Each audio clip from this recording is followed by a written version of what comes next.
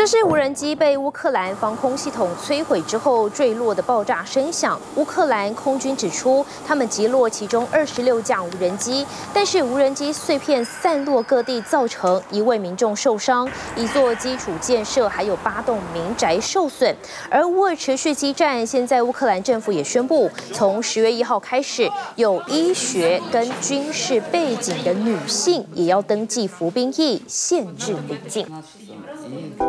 想看最完整的新闻内容，记得下载 TVBS 新闻网 APP。